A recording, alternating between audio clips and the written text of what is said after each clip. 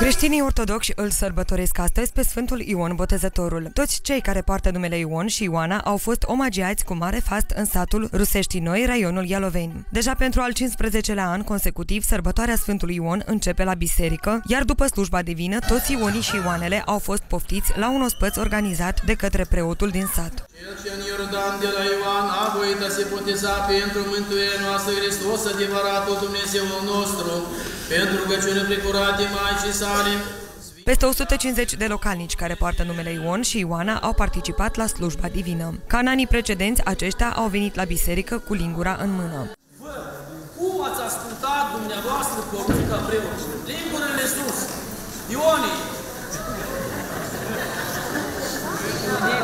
Sătenii spun că fără lingură nici nu pășesc pragul bisericii. Este o tradiție la noi în sat. Preotul, așa, ca de obicei, el ne adună pentru aceasta că face o agapă, o masă. Neapărat lingura trebuie să fie. Preotul bisericii din sat este cel care organizează sărbătoarea, iar pe viitor își dorește ca acest eveniment să devină un festival raional sau chiar național. Inițial a fost uh, dat uh, start unei uh, întreceri între Ion și Vasilei. La câțiva, câțiva ani de zile încă era un număr egal. Mai târziu, uh, evident că Ionii le-au întrecut și deja noi avem un număr foarte mare, încât s-a ridicat la 186 de Ioni care au participat la Sfânta Slujbă. După liturghie, sătenii care poartă numele Ion și Ioana și nu numai, au fost așteptați la un local din sat cu friptură, mămăligă și vin fiert.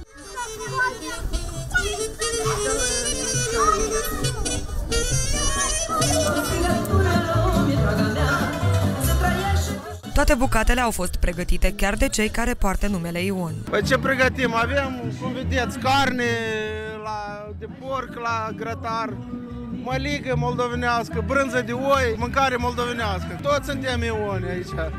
Ne-am unit și facem sărbătoarea.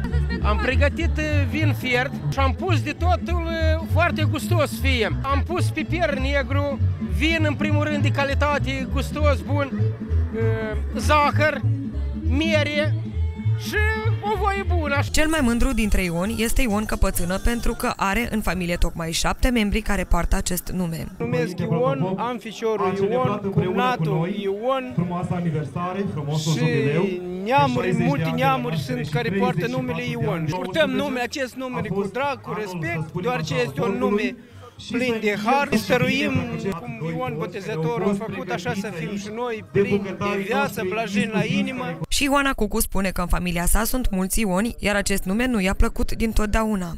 Bunica mea era o femeie așa văzută pe atunci, pe timpul acela, și o chema Ioana. M-am bucurat pe urmă.